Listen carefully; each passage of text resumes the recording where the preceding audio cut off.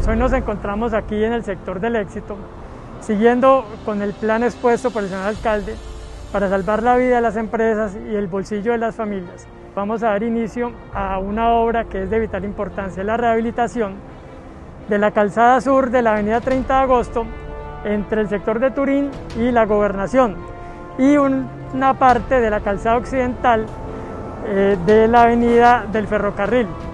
Esto es una obra que generará 80 empleos, eh, tenemos una inversión de 558 millones 700 mil pesos eh, aproximadamente. Vamos a reparar más de 5 mil metros cuadrados de pavimento que están en muy mal estado y vamos a mejorar eh, nuestras vías para mejorar la movilidad de todos los peregrinos.